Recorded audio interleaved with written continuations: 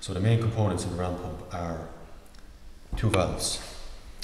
This is the inlet for the water and this is the outlet. This valve up here is a flap valve, a flap non-return valve, which is normally open. And as you can see, there is a little flap here, which you can hear moving at the moment. Maybe the camera can pick it up. Um, and then in here, this is a spring non-return valve. So it's just a plate with a spring in it. Um, that valve is normally closed and this valve is normally open. So what happens is the water feeds in through here. So the water will be coming from river, upstream, um, coming from a pond, or maybe even um, a, a, spring um, at a higher level. It comes down here and starts to flow out through the flap valve. And as it gains momentum, it catches the flap, pulls it up, and slams it shut. So when it slams that flap valve shut, the water in here comes to a stop. So that causes the pressure to rise.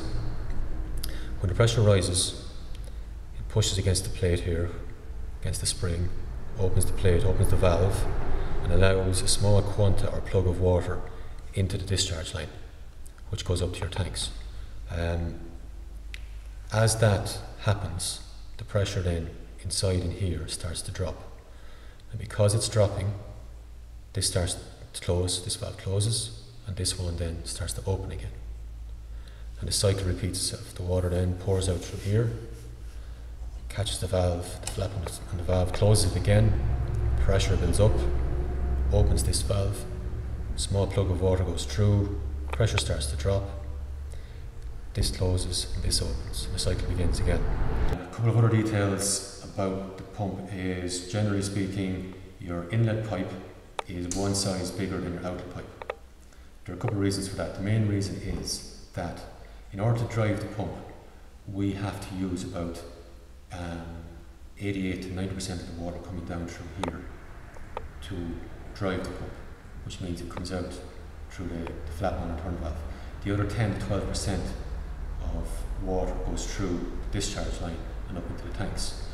So while these pumps are very efficient in terms of energy, um, and it's all free obviously, um, they're not as efficient volumetrically.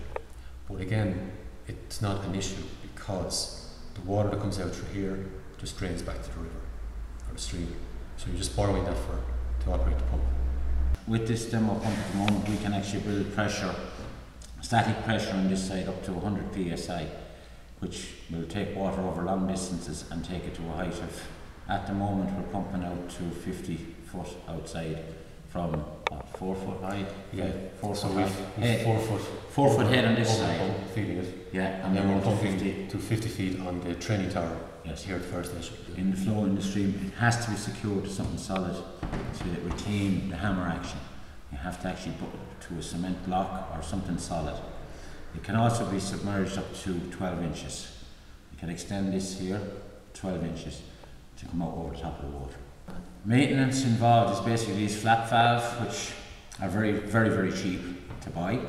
Flap valves you have to keep them clean to make sure they're clean right? That's to flatten.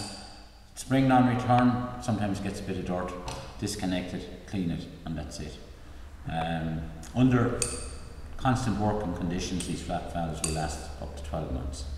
There's a lot of other details then about the overall system.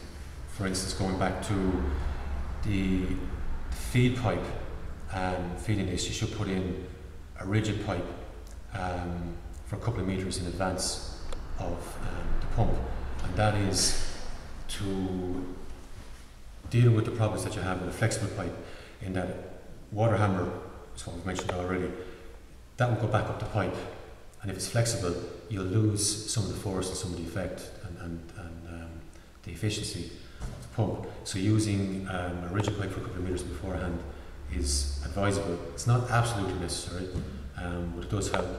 If you're putting this in a river and the feed pipe then can be left in the bottom of the river all that's needed, needed is just to place a few stones, a few rocks and the pipe back up along um, and it'll eventually get sedimented over